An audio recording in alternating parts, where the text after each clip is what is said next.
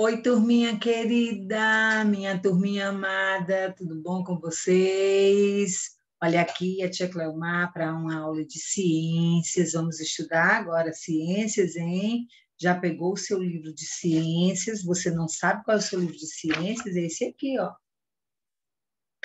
ciências, ok? A nossa aula hoje de ciências é sobre o meio ambiente. Olha só que coisa linda que nós temos aqui, peraí. Ciências, o meio ambiente. Olha que árvore linda que tem aqui nesse ambiente. Tem animais, tem pessoas, tem plantas, tem flores. Olha que coisa linda é esse ambiente. Então, nós vamos estudar hoje sobre o meio ambiente. Ok, meus amores? Então, vamos lá. Tia Cleomar vai já apresentar para vocês aqui os slides da nossa aula de hoje, tá bom? Para vocês prestarem bem atenção, meus amores. Pronto, olha só que coisa linda! O meio ambiente, nossa aula de ciências, ok? Mas, para começar a nossa aula de ciências, olhando para esse ambiente aí maravilhoso, vamos ouvir uma música e preste bem atenção à letra dessa música, viu? Fique bem atento. Olha quanta beleza tem nesse planeta para aproveitar. É maravilhosa a natureza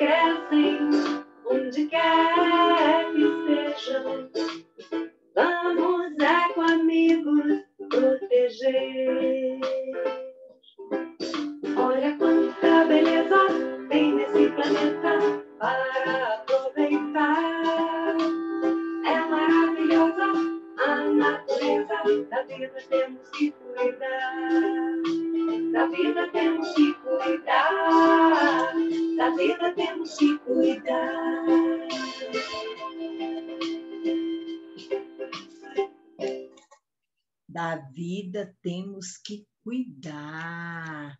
Então, para cuidar da nossa vida, nós temos que ter esse cuidado com o nosso lindo planeta, não é? Então, vamos lá. Olha só, essa imagem que a tia Cleomar colocou aí, ela é essa, essa imagem é do seu livro de ciências, tá bom? Você vai encontrar esse, essa imagem na página 19 do seu livro de ciências. Então, preste atenção.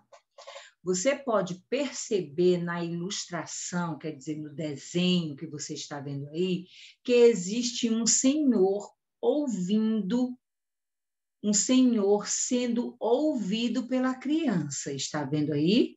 O senhor, aqui esse, esse idoso, ou sendo ouvido por esse menininho aí, por essa criança, não é? Essa criança, olha só, essa criança está, ela está ouvindo o idoso, né?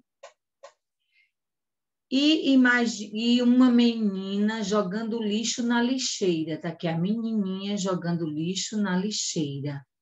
Eles estão demonstrando respeito e consideração em suas atitudes. Por que, Tia Cleomar, que eles estão demonstrando respeito e atitude? Primeiro, vamos falar dessa menininha aqui.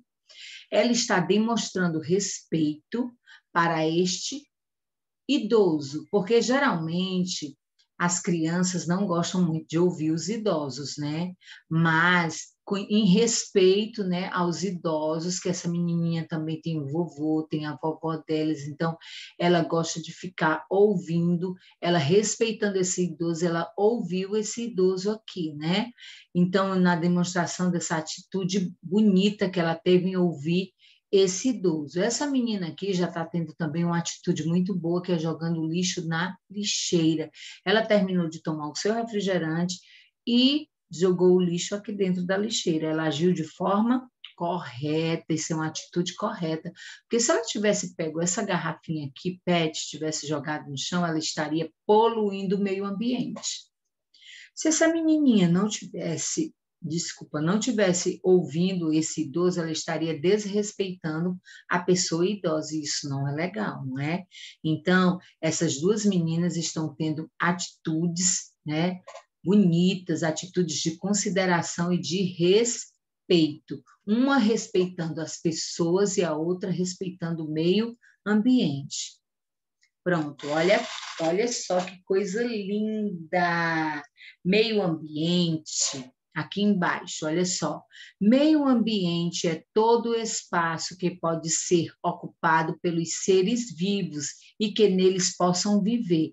Aqui nós temos seres vivos, os animais, as plantas, são seres vivos. Por quê? Porque eles têm vida. Nós, seres humanos, os animais e as plantas, somos seres vivos. Nós temos vida, nós nascemos, nós crescemos, nós nos desenvolvemos, né? E, então, é, isso acontece conosco, com os animais e com as plantas. As plantas nascem, crescem, reproduzem, os animais nascem, crescem, reproduzem, os seres humanos nascem, crescem, reproduzem também. Então nós somos seres vivos e seres vivos ele tem esse ciclo vital: nasce, cresce, reproduz, envelhece, certo? Nós, nós os animais, as plantas temos esse, temos esse ciclo vital de nascer, crescer, se desenvolver, reproduzir, né? Então, nós temos esse ciclo, nós fazemos parte dessa bela natureza. Na natureza, encontramos a maioria das coisas que precisamos para sobreviver. Nela encontramos o ar que respiramos. Olha só, essa família aqui está fazendo um piquenique ao ar livre. Olha só, eles estão respirando esse ar puro aqui do parque. Os alimentos, olha só os alimentos aqui que foram tirados da natureza, as frutas, os legumes, né? E a água para matarmos nossa fome e sede. Olha que água também, ó, nessas garrafinhas, né? O calor e a luz do sol que ilumina todos os dias. Olha aqui o sol iluminando esse lugar belíssimo, essa família se divertindo no parque. E isso é muito bom não é? Ter esse tempo para diversão, desfrutar da natureza, do ambiente em que a gente vive. Então, o meio ambiente é o meio em que nós estamos inseridos, é o meio em que nós vivemos certo? Então, repetindo, na natureza encontramos a maioria das coisas que precisamos para sobreviver.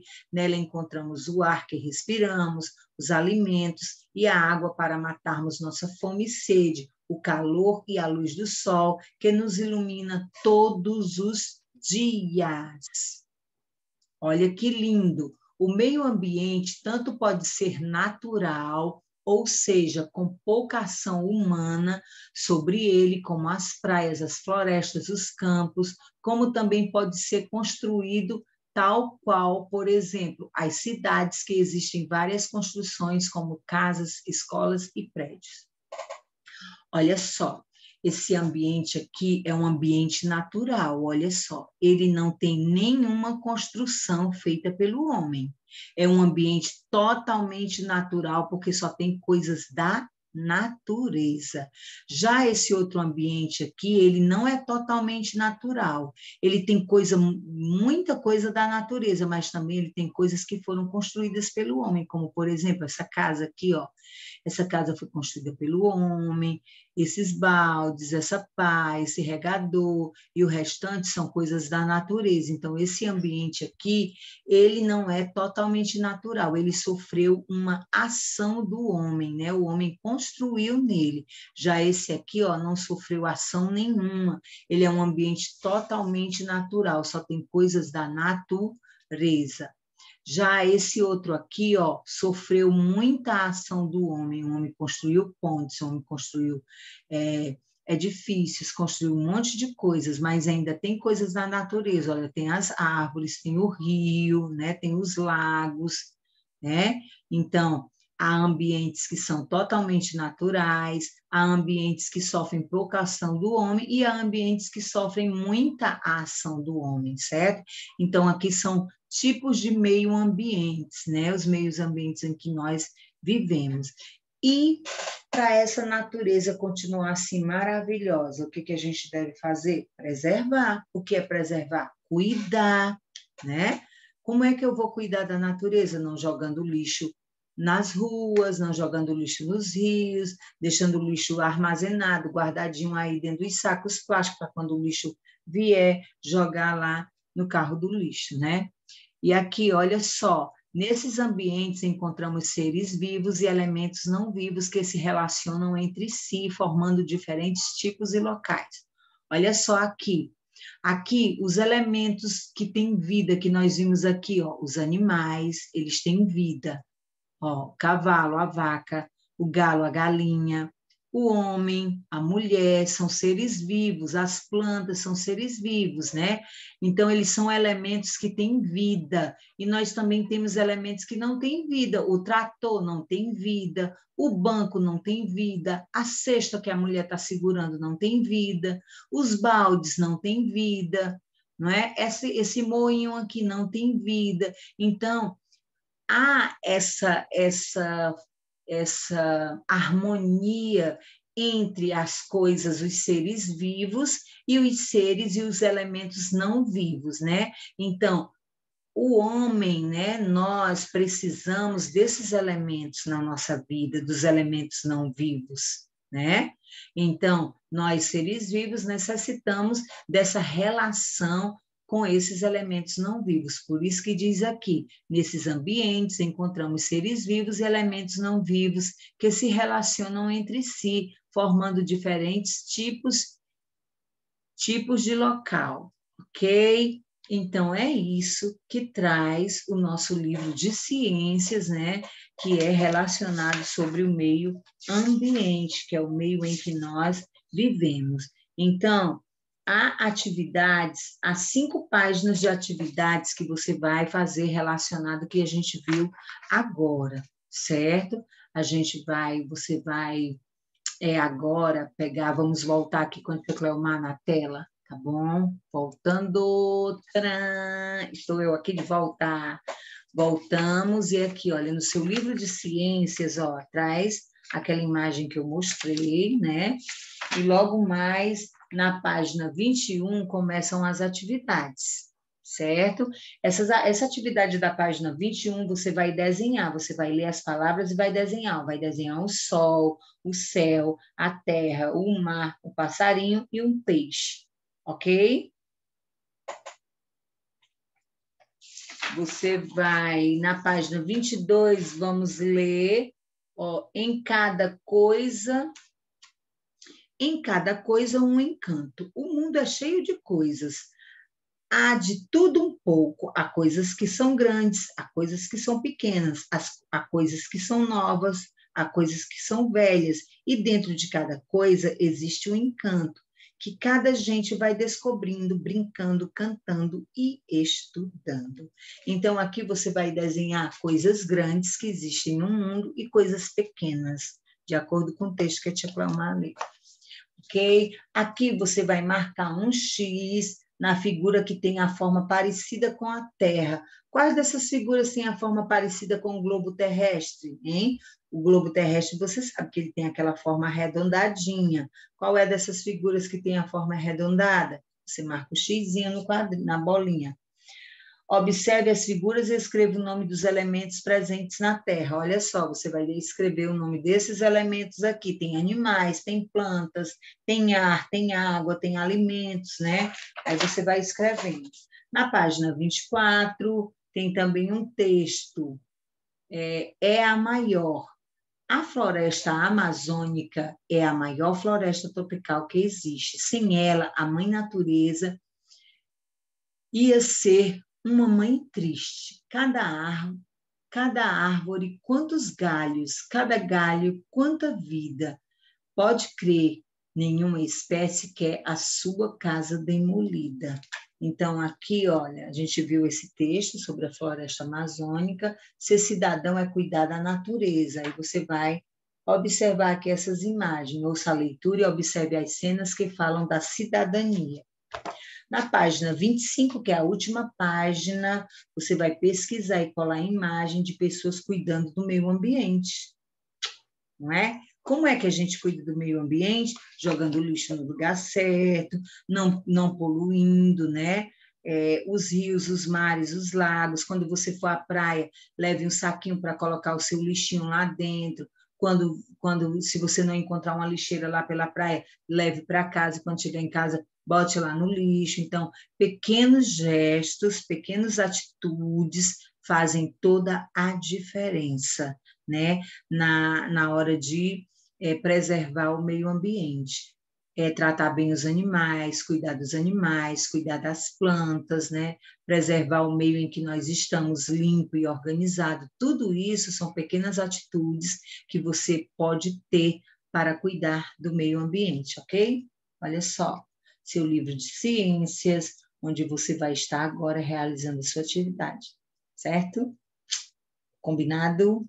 Vai fazer tudo direitinho, com bastante capricho, capricha na letra, faz letra cursiva, usa sempre a letra cursiva nas atividades, ok?